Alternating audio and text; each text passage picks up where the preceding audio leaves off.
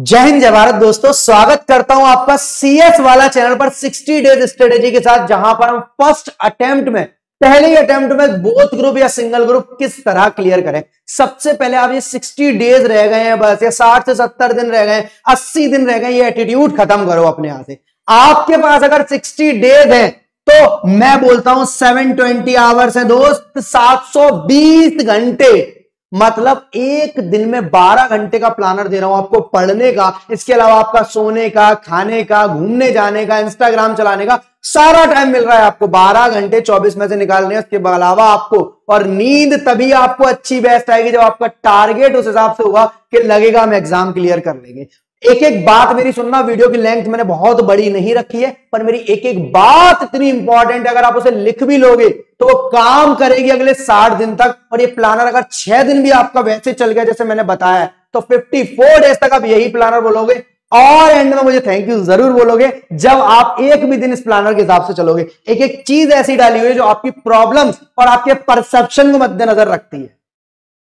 सबसे पहले दोस्त, आप अपने सब्जेक्ट्स देख लो, अगर आप बोथ ग्रुप के लिए जा रहे हो, अगर आप बोथ ग्रुप्स के लिए जा रहे हो सर बोथ ग्रुप्स के लिए कैसे पता करें हम बोथ ग्रुप्स के लिए फिट हैं या नहीं है? सीएसईटी पास करने के बाद अगर पहले दिन या दूसरे दिन या तीसरे चौथे दिन से आपका एटीट्यूड कुछ इस तरीके का था कि आप बोध ग्रुप की क्लासेस ले बैठे हैं, आपने बोध ग्रुप के हर सब्जेक्ट से वाकिफ है और आपको पता है कि बोध ग्रुप में, यानी सातों सब्जेक्ट्स को हम साथ में लेकर चलेंगे तो क्या डर है और क्या फ़ायदे हैं? डर सिर्फ़ एक है कि आपको जो लास्ट दिन जो एक दिन के बाद दूसरे दिन मॉड्यूल टू का पेपर होता है, उसमें आपको रिवीजन का टाइम कम मिलेगा। ये बस डर है। ये डर पहले ही खत्म कर देंगे अपनी सिक्सटी डेज़ स्ट्रेटेजी में।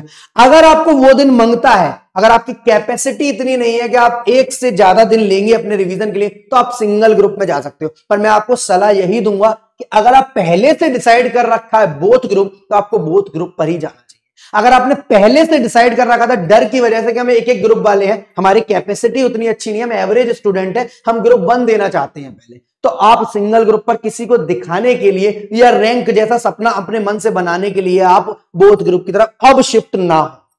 क्लियर है मेरी बात? बोथ ग्रुप देने के फ़ायदे हर बच्चे को शायद पता हो, नहीं पता है तो दो मिनट के अंदर मैं बता दे रहा हूँ कि अगर आपका ग्रुप वन में 220 मार्क्स भी आते हैं और ग्रुप वन टू में 130 मार्क्स आते हैं। इस पर न्यू स्ट्रेटेजी न्यू सिलेबस की बात कर रहा हूँ दोस्त तो आपका साढ़े तीन सौ मार्क्स बन जाता है। मतलब कहने को आप ग्रुप टू में एक तरीके से फेल है। मतलब डेढ़ सौ नंबर पूरे नहीं बट फिर भी आप पास माने जाते हो क्योंकि सारे सब्जेक्ट्स को एक साथ लेकर 350 मार्क्स का टारगेट आपका कंप्लीट है। ये बस स्मॉल टारगेट है जो हर बच्चे का सपना होता है कि भैया 50 परसेंट लाना है 700 मार्क्स का पेपर है तो 350 मार्क्स तो कैसे भी लेकर आने सब्जेक्ट्स की बात करूँ सब्जेक्ट सब आपके में GIGL jurisprudence interpretation and general law company law setting of business entity corporate and financial management capital market and security economic and tax law and तो सबसे पहली बात, आपको सातों सब्जेक्ट्स क्या एक दिन में पढ़ने हैं? बिल्कुल भी नहीं। क्या सातों सब्जेक्ट्स को डेढ़ डेढ़ घंटे का टाइम देकर मैं साढ़े दस घंटे बताऊँगा? बिल्कुल भी नहीं। ऐसा काम हमें करना ही नहीं, क्योंकि ऐसे काम करने से गलतियाँ होती हैं लोड बढ़ता है यहाँ पर और मज़ा कुछ भी नहीं आता। एक परसेंट मज़ा नहीं आता प्रोडक्टिव नहीं है कुछ भी। आपको जो स्ट्रेटेजी फॉलो करनी है, वो ये करनी है, मेरी ध्यान से बात सुनिए।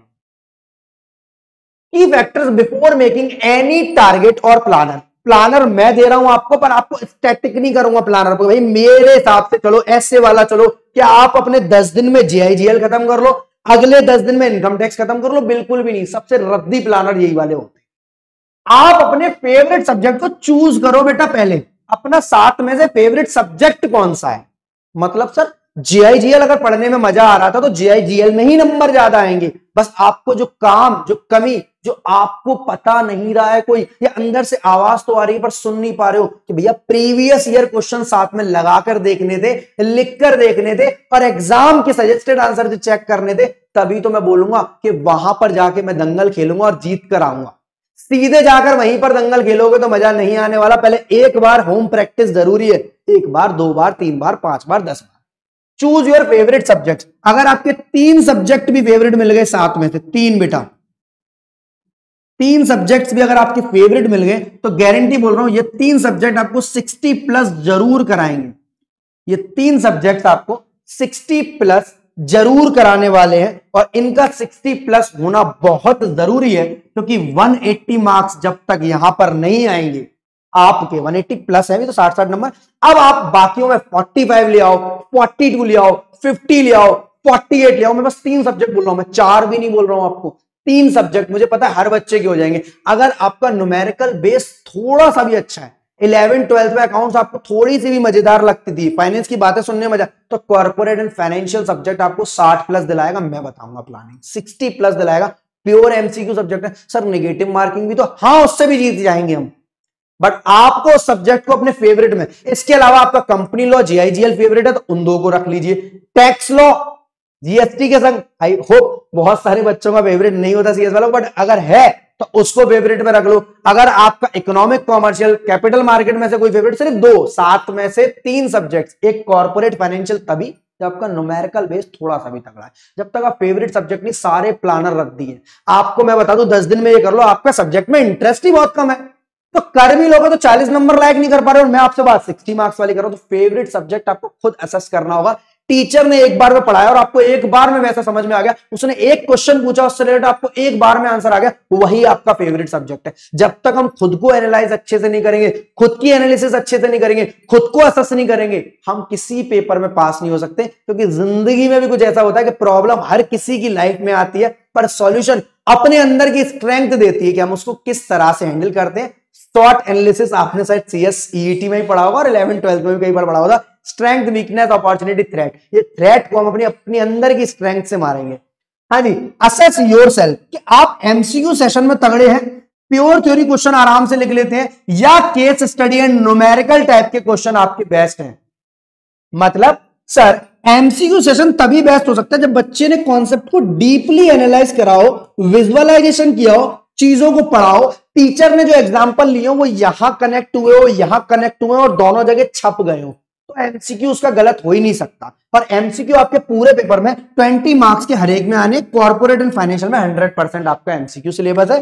20 परसेंट एमसीक्यू नई चीज़ है। डिस्क्रिप्टिव पेपर में 80 परसेंट डिस्क्रिप्टिव कर दिया 20 परसेंट एमसीक्यू आपके लिए मज़ेदार। सर, उसमें भी तो शायद हमें ऐसा लगता है कि नेगेटिव मार्किंग है। बेटा नेगेटिव से डरोगे तो नेगेटिव ही बन जाओगे। पॉजिटिव रहो, ये सोचो 20 में से 15 कैसे लेकर आने हैं मुझे?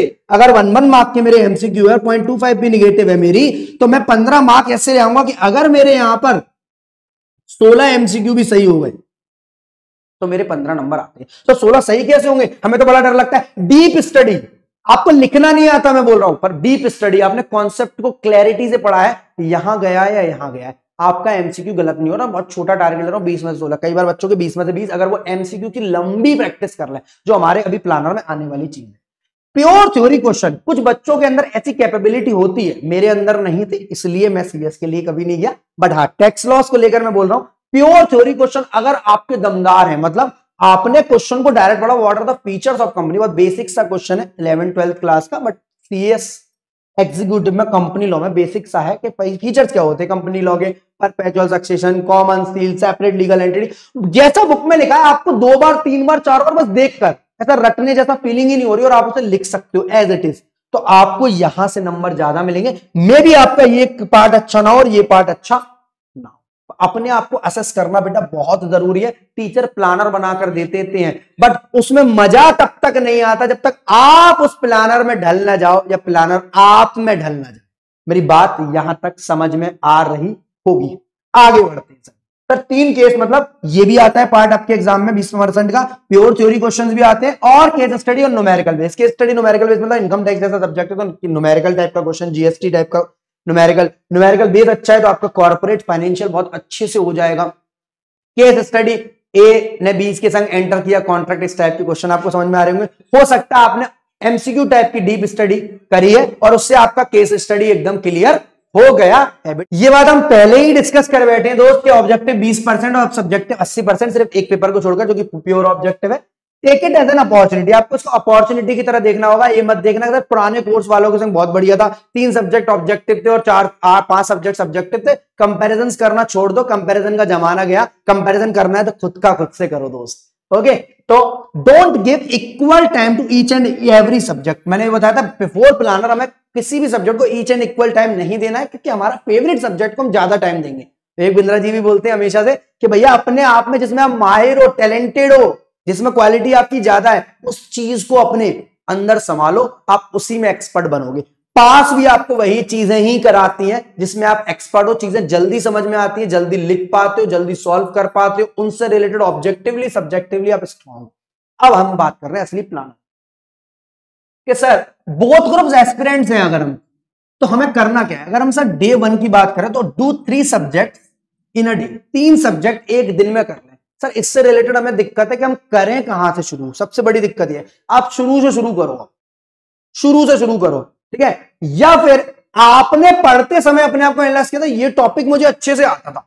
मतलब ये मेरा मोस्ट फेवरेट टॉपिक था। अब वो मोस्ट फेवरेट टॉपिक आपका है, अच्छी बात है। अगर वो आईसीएसआई का भी मोस्ट फेवरेट टॉपिक है तो बात बन जाएगी। पासिंग होने की कहानी पास होने की बात शुरू हो जाएगी। मतलब do three subject revise complete lecture और write down previous year question आपको सिर्फ़ लेक्चर टीचर का देखा लीड लगाकर ईयरफोन हेडफोन लगाकर और रख दिया। बारह घंटे मेरे हिसाब से तो पढ़ रहे हो, पर बारह घंटे वो प्रोडक्टिव नहीं निकल पा रहा। जैसे ही लेक्चर खत्म हो, पाँच दस मिनट का रेस्ट लो माउथ वॉश हैंड वॉश करो फेस वॉश करो और तुरंत उसके प्रीवियस ईयर क्वेश्चन लिख लो शुरू करो। मतलब लगातार अगर आप वीडियो देखोगे, डेढ़ डेढ़, दो दो, तीन तीन घंटे की, समझ में नहीं आएगा गारंटी बोल रहा हूँ। पाँच दस मिनट का रेस्ट लो, उन क्वेश्चन को लिखना शुरू कर दो, पढ़कर, समझकर रिवाइज कर कर उस वीडियो को। अगर उससे रिलेटेड क्वेश्चन सर है ही नहीं तो क्या करें? तो आज का गैप दो, उसको रिवाइज कर कर रखो।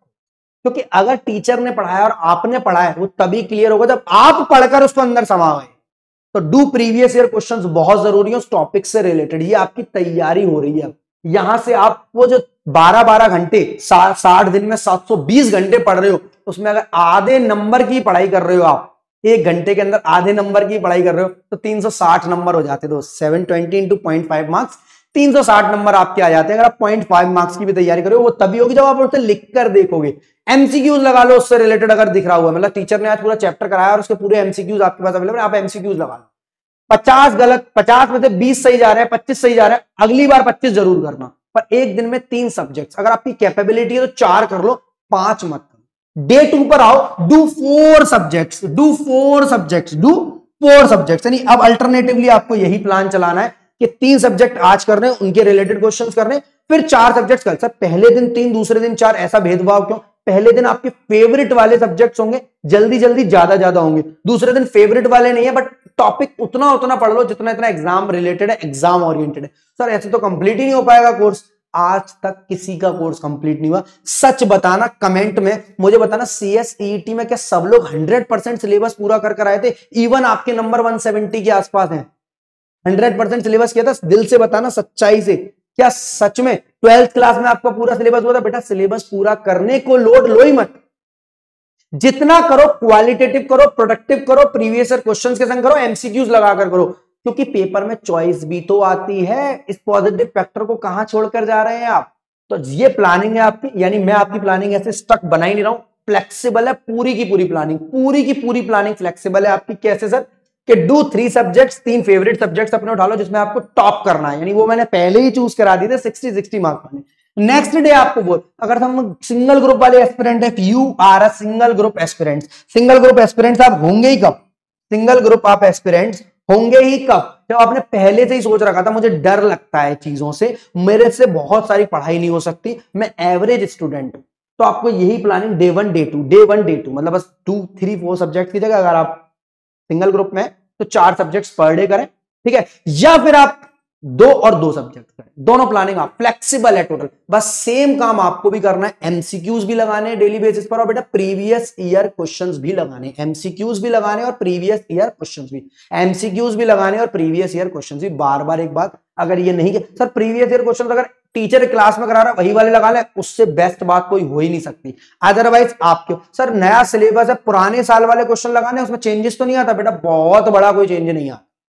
पिछले तीन अटेम्प्ट के तो कोई खास चेंज नहीं होंगे इनकम टैक्स के ठीक है? छोटे छोटे कंपनियों में अमेंडमेंट होंगे। आंसर्स लिखने में ऐसी दिक्कत नहीं है प्रैक्टिस क्वेश्चन आपके अवेलेबल है। आपके पास मॉड्यूल आए हैं, उसमें क्वेश्चन है, उसको तो नया मानोगे आप। ये काम ज़रूर करना है। सिक्सटी डेज़ आपको इसी प्लानिंग पर चलना इसी प्लानिंग पर। डे वन डे टू बिल्कुल भी फ्लेक्सिबल प्लानिंग है। फेवरेट सब्जेक्ट ऊपर और कम फेवरेट सब्जेक्ट नीचे। 60 प्लस ऊपर 40 45 48 और ये जब तक नहीं करोगे मैं सच बता रहा हूँ, पास होने की व्यवस्था नहीं है। ऐसा नहीं है फिफ्टी वाले पास नहीं होते, हर सब्जेक्ट में फिफ्टी लाने वाले। उनका कोई फेवरेट सब्जेक्ट नहीं होता, पर फिर भी पास हो जाते हैं। उनकी भी प्लानिंग ऐसी रहती है कि क्वेश्चन पढ़ने लिखना ज़रूरी है। छोटी छोटी बातें और करनी है हमें प्लानर आपके सामने आ गया। जो भी आप छह दिन में पढ़ो, यानी मंडे से सैटरडे तक अगर आप पढ़ रहे हो तो हो सकता है कोई बच्चा मंडे से ना पढ़कर ट्यूसडे से पढ़ रहा है वेडनेसडे से पढ़ रहा है बट मैं ये जाऊँगा एम से सैटरडे तक आप पढ़ रहे हो सिक्स डेज़ मैंने छह दिन बोले थे आपको एक बार ये छह दिन की प्लानिंग आपके साथ जुड़ गई।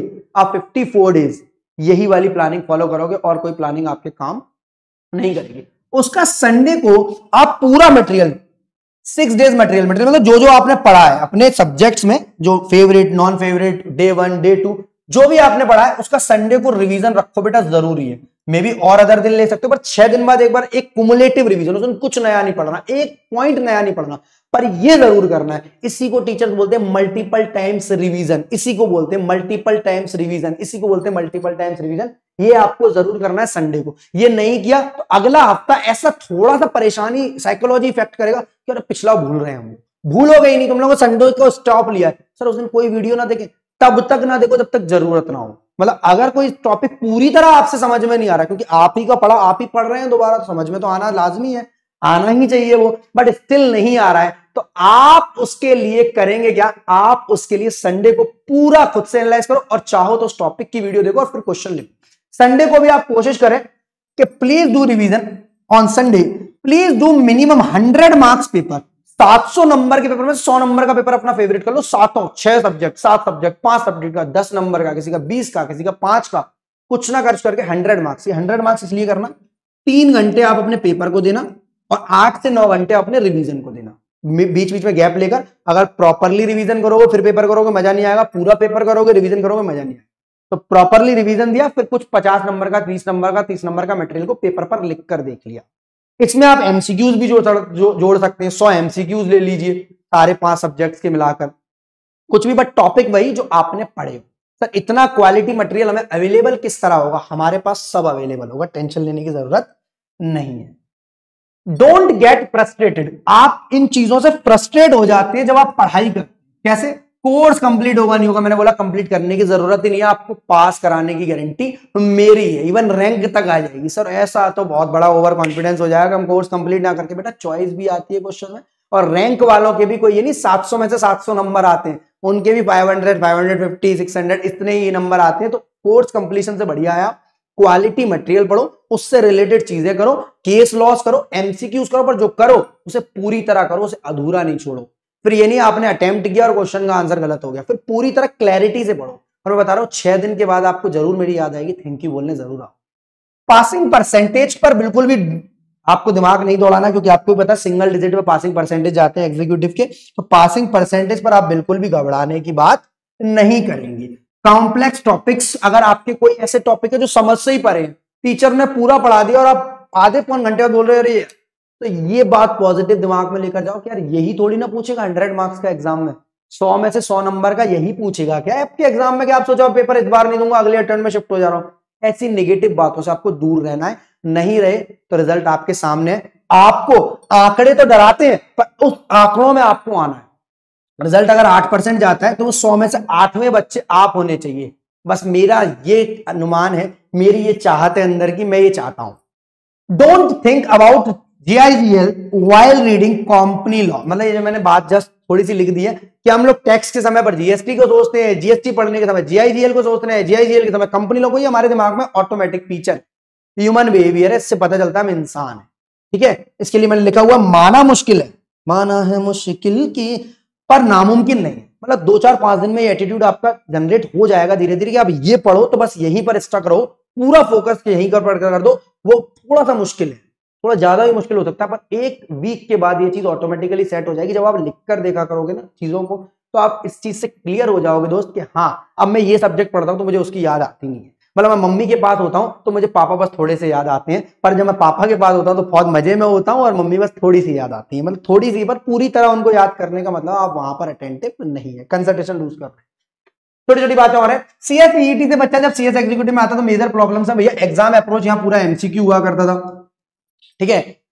दूसरी बात कोर्स स्ट्रेट कोर्स स्ट्रक्चर भी बहुत अलग था। कोर्स स्ट्रक्चर आप समझते हो मतलब बहुत नैरो कोर्स था, यहाँ पर वाइडर है कॉन्सेप्ट को ब्रीफ में पढ़ने की ज़रूरत है, वहाँ डायरेक्ट क्वेश्चन पढ़ होते थे।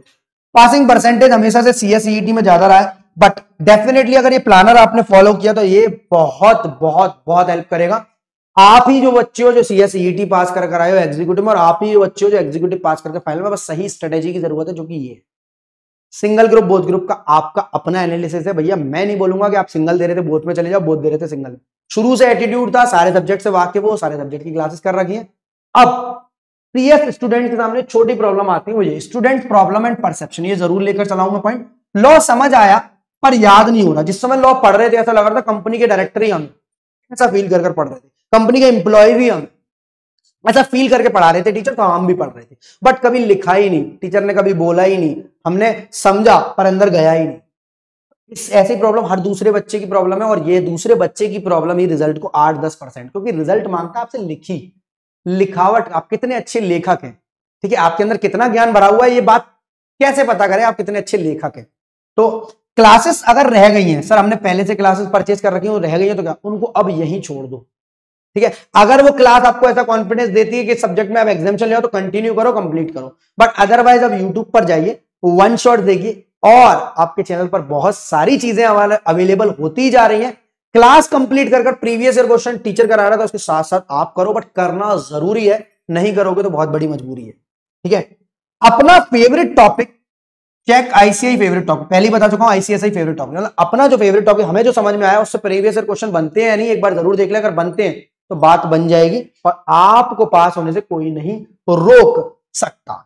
सर, इतनी सारी बातें आपने बताई, इससे पॉजिटिव माहौल तो बन गया है, पर सच में हम एग्जीक्यूटिव पास हो जाएँगे, हमारे अंदर डर रहता है। तो बेटा एक दंगल मूवी की छोटी सी लाइन है एक गाने की, कि कर दिखाने का मौका जब भी किस्मत देती है। गिन के तैयारी के दिन तुझको मोहलत देती है, ठीक है? तो कर दिखाने का मौका, इस बार मौका दे रही है किस्मत आपको, और गिन के तैयारी के दिन भी दे रही है। तो आप ऐसा हंड्रेड करेंगे। नेक्स्ट टॉपिक पर बात करता हूँ मैं आपसे।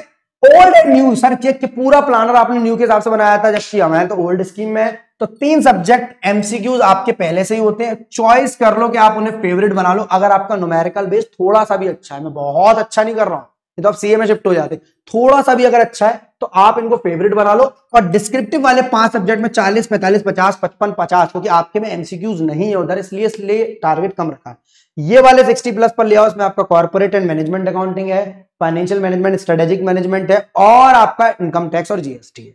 ठीक है? नेक्स्ट पॉइंट की बात करता हूँ। छोटी छोटी बातें और रह गई है हमारी। थैंक यू सो मच ठीक है? और एक छोटी सी आखिरी बात कि अगर दिल में हसरतें हैं समुंदर पर राज करने की, दिल में हसरतें हैं समुंदर पर राज करने की तो सब कल पर ना छोड़, जिद कर कुछ आज करने की। जब तक ये बात आपके एटीट्यूड मन में नहीं आएगा, ये प्लानर फेल हो जाए ठीक है? चलिए इसी के साथ मिलते हैं अगली वीडियो में। जय हिंद, जय Bharat. Love you to all of you be happy always